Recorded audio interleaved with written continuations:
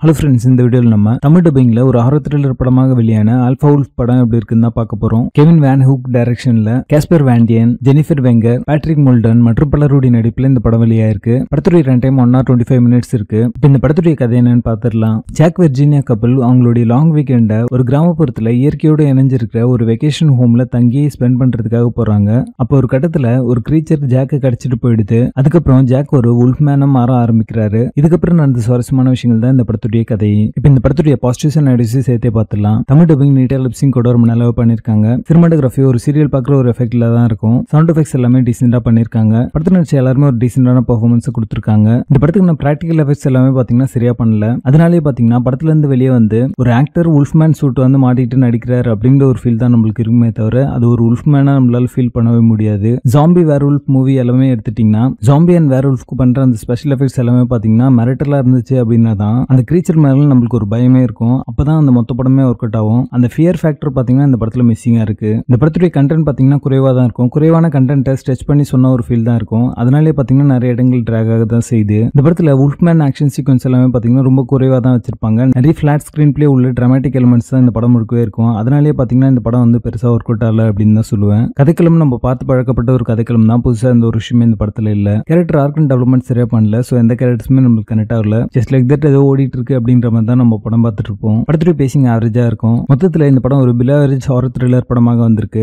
படத்துல அழகான கனெக்ட் இருக்கு. இந்த படத்தை நீங்க ஃபேமிலியோட பார்க்காதீங்க. அல்ஃபா உல்ஃப் படத்துக்கு எங்களோட rating three point five out of ten